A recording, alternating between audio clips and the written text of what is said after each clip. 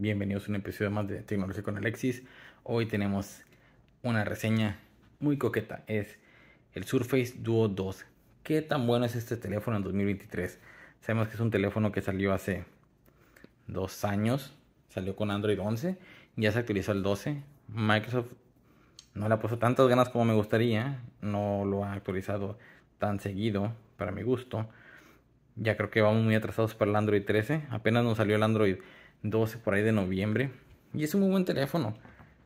Pero al fin y al cabo tuve que reemplazarlo por mi Surface Duo 2. Que lo tengo, para que lo vean, comparación. Entonces, ¿qué tanto cambié? O qué tanto mejoró al cambiar de 2 al 1? Mejor dicho, del, del 1 al 2. Pues solamente las cámaras, ¿no? Es un teléfono que, si bien prometía mucho, pues sigue siendo un nicho, ¿no? No se vendió demasiado como para que haya tanto soporte, sigue estando en Android 12. Esperaría que el Glance Bar tuviera más utilización, solamente me está diciendo ahorita la hora y pueden ver, a veces te mandan un mensaje, llamada, aparece el icono, pero no, no sirve de tanto, la verdad. Es muy bueno con el Surface eh, Pen, con el Slim Pen 1 o 2, yo lo he utilizado con la versión 1 y la versión 2. Y era muy feliz, muy feliz con él hasta que mi esposa pidió el 23 Ultra y nada más veía que le picabas a la pluma y rápidamente escribías, ¿no? Cuando con este teléfono pues tienes que abrirlo, tienes que desbloquearlo, tienes que buscar la carpeta donde lo tienes, abrir OneNote, abrir la nota y empezar a escribir. Es un proceso tardado, la verdad. En mi trabajo me encanta, es un buenísimo teléfono, pero es tardado. No es de que sea lento, es muy rápido, sino que son muchas opciones. Y en el Galaxy picas, sale pluma y estás escribiendo te gusta 3 segundos, sino que estás anotando la nota, no se te pasa nada. La cámara no es, no es mala, es muy buena, pero no es excelente. En la noche no es lo mejor. Voy a tomar una fotografía. No tiene tanto retardo, pero tampoco es la más rápida. Es una cámara que cumple con el objetivo. Puedes tomar en HDR, puedes este, tomar el video a 4K, 30 fotogramas o 60 fotogramas y en 1080 o Full HD igual a 30 y 60 tienes tu, tu, opción de cámara lenta. Vamos, ¿por qué no reaccionas? ahí está. No voy a cerrar el menú. Puedes tomar cámara lenta también a 120 fotogramas o 140 fotogramas. Y está padre porque lo puedes utilizar como, como un soporte, ¿no? Digamos que vas a tomar la foto y lo puedes poner sobre alguna mesa, una superficie, sostenerlo para tomarte la selfie, etcétera, ¿no? O sea, si es una... le sirve mucho. Que bueno, eso ya lo estamos viendo ahorita con el Samsung Galaxy Fold 4, ya viene el Oppo Find N Flip, etcétera, ¿no? Es un muy buen teléfono, cumple su objetivo. La pila, por más que me encanta, la pila es mala. O sea, mala en el sentido de que pues, lo utilizas mucho para el trabajo, en dos pantallas, tienes que estarlo siempre procurando voltear una pantalla porque si lo utilizas mucho para la una de la tarde ya no tienes pila. Tienes juntas, llamadas, mensajes, tomas algunas notas, etc. La ventaja es que pues carga relativamente rápido. Para los estándares de ahorita no, porque vemos los, los Oppo o los Realme. En este caso tenemos por acá al de Naruto que carga 150 watts. Entonces pues a los 15, 18 que carga el Surface 2.2 contra el Realme de Naruto. Que si lo quieren sin funda, déjame se las quito.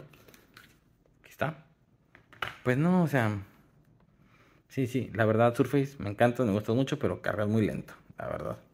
Entonces, si te acostumbras a los estándares actuales, es una carga muy lenta, la verdad. Pero bueno, fue, siento que fue un prototipo, la versión 1, la 2. Se rumora que ahora la versión 3, si es que sale, no va a ser de dos pantallas, va a ser meramente eh, una pantalla plegable de plástico Vamos a ver, ¿no? ¿quién quiere leer la huella? Ah, ahí va.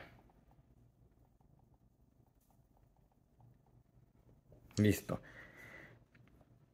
Y bueno, vamos a mostrar aquí el, el dúo, ¿no? la versión que tiene. Perdón, ¿dónde está? Aquí está. Actualmente estamos en el Android 12, ¿no? Entonces, si bien el 2 me gusta, siento que ahorita lo encuentro muy caro. Hay más unidades del Surface 1 y este video se trata de ver qué tanto puedes hacer con un Surface Duo primera generación, vamos a llamarlo así. Suponiendo que lo encuentras eh, alguien que lo importó hacia México de Estados Unidos, porque bueno, solamente los encuentras en Estados Unidos, no hubo versiones en México, no hubo una AT&T México, ni Telcel, ni Movistar, ni siquiera Pillofón o donde lo veas, solamente hubo en Estados Unidos. Entonces, suponiendo que todavía encuentras este en 350 dólares, 300 dólares nuevo, desbloqueado de AT&T, es una muy buena tableta para que tengas en casa. Eh, mi, el mayor uso que le daba al uno en su momento era ponerle YouTube Kids a, mi, a mi niña, doblarlo y ponerlo sobre la mesa para que ella lo viera, ¿no? Le sirve mucho los bumpers porque se, se amarra un poquito la superficie y pues sí, sí está muy padre para eso, la verdad. Tiene buena bocina, la cámara no es la mejor, tienes que, pues usar una sola cámara, ¿sí? Una sola cámara. Ya me pueden ver con mi Pixel 6 Pro. Entonces, la desventaja de ser una sola cámara es que pues tienes una cámara pues de papa, es una cámara de adorno por así decirlo, que ya mejoró mucho, pero no es la mejor. Si es una cámara que, que no le va a ganar a ningún iPhone, a ningún Samsung, ni mucho menos le va a ganar a, algún Sony o algún este, Oppo que tenga un buen sensor Sony. No, o sea, una cámara que pues te ayuda, ¿no? Pero imagínate, le quería tomar una foto a mi niña, lo tenía que abrir, tenía que desbloquearlo, tenía que abrir la cámara, girarlo y luego voltearlo así para presionar la pantalla para que se cambiara la cámara, porque así es como funciona. Vaya la cámara, tienes que darle clic para que reconozca que cambiaste y ya te empieza a detectar. Nuevamente, si la queremos girar para tomar la foto, otra vez hay que picarle y ya cambia el lente, ¿no? Lo cual de cierta manera está padre pero a la vez es malo. Depende cómo lo utilices, ¿no? ¿Por qué digo esto? Porque en este sí lo... Ese un poquito. En este sí lo puedes doblar completamente, no tiene las cámaras. Y en el Duo 2, pues para tomar una foto, no lo puedes doblar como el 1 porque te va a estorbar el mismo teléfono, ¿no? Ahí ya se volteó a la, selfie. Pero la cámara trasera queda, queda completamente obstruida. Entonces, si ves este teléfono y quieres explorar en los, en los teléfonos plegables, lo consigues en 8 mil, 10 mil pesos en México, en perfectas condiciones o como no, es un muy buen teléfono, la verdad. Y creo que es divertido hasta eso. Eh, este teléfono es buenísimo para emuladores.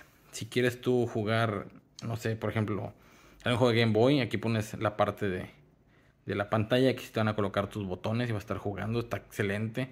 Si lo vas a utilizar para WhatsApp, pues se despliega el teclado. Digo, los dos funcionan muy similares. No es nada que, estemos reinventando la rueda.